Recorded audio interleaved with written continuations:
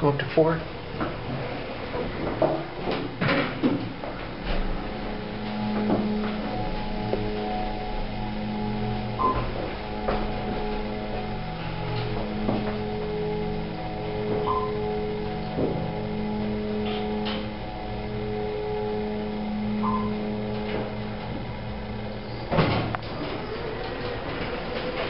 Okay, let's go back down to one.